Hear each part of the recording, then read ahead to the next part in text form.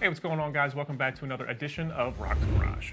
I'm your host, Dan, and on today's episode, we're going to be installing part number ACC-BSKT06, which is the front basket kit for the Yamaha Drive.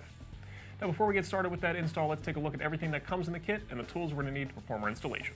Now, when you receive your kit, you're going to get two separate boxes. The first one is going to have your mounting kit, which is your hardware as well as your two mounting brackets.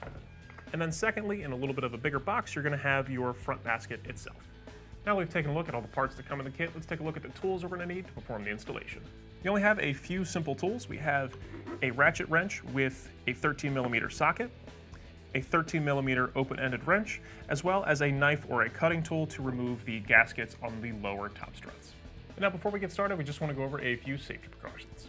Now as always, we wanna make sure that we set our parking brake, turn our cart off, and if we have an electric cart, we're gonna flip the tow run switch to the tow position. Now our first step in the installation process is we're gonna remove the gasket that is at the lower end of the strut. And we're gonna do that just by lifting it up and then we're gonna cut it off with the knife. So now with the gasket removed, we're gonna remove these two bolts right here at the bottom of the top strut.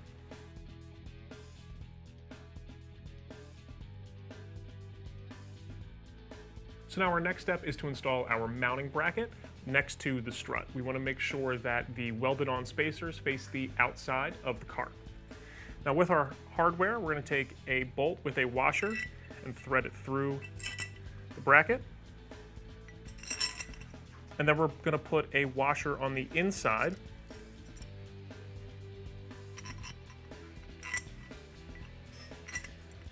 And then we can go ahead and install it on the top strut.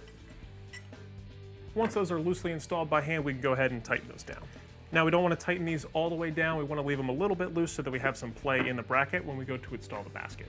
Now, we're going to do the exact same thing on the other side of the cart.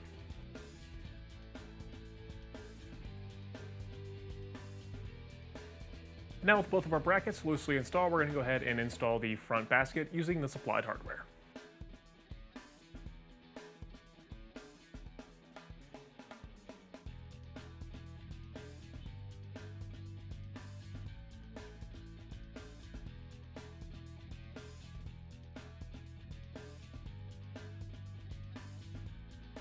Now that our basket is mounted, our last step is to install our little plastic end caps on the end of the mounting brackets.